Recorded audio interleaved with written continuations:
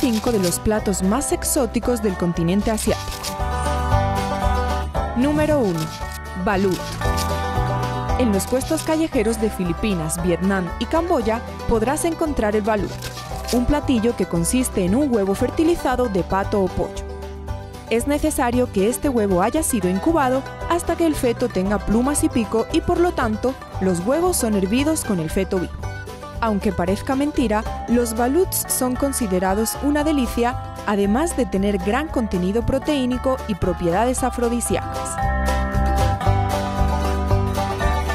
Número 2. Kopi Luwak. Es el café más caro del mundo. Puede costar hasta 300 euros el kilo y se trata de uno de los pilares culinarios de Indonesia. Quienes lo han probado destacan su marcado aroma, su sabor acaramelado y con notas de chocolate que lo convierten en un auténtico manjar.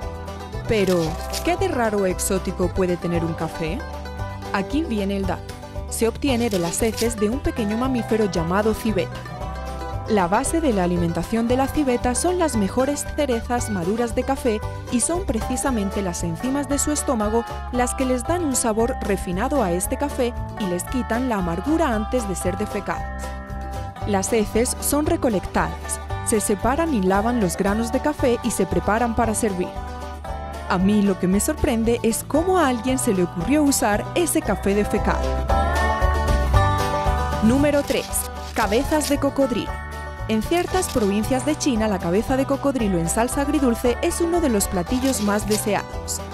Este plato fue catalogado como entrada en un concurso de cocina en el año 2006 en Wenzhou. Desde entonces se ha popularizado y no es para menos. Su presentación es muy llamativa al servir al reptil con la boca abierta dejando ver su afilada dentadura. Número 4. Sanakti. Uno de los platos típicos de Corea son pequeños pulpos vivos que se bañan en salsa de aceite de sésamo.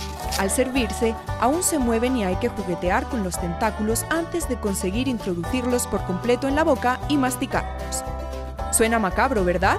Lo más curioso es que los tentáculos pueden quedar pegados en la boca o en la garganta del comensal, por lo que es recomendable tener bastante cuidado. Número 5. Fugu. El fugu o pez globo es un alimento muy pero que muy apreciado en Japón. Estos animales tienen suficiente veneno en su cuerpo para llegar a ser letales. La mayor cantidad del veneno se concentra en la piel, hígado y ovarios y su consumo está prohibido en la Unión Europea. Este pez solo puede ser preparado por chefs que hayan tenido una preparación especial de entre 2 a 3 años de especialización y hayan pasado un examen bastante difícil. Algunos de estos chefs dejan un poco de veneno para provocar un cosquilleo en el paladar de los comensales.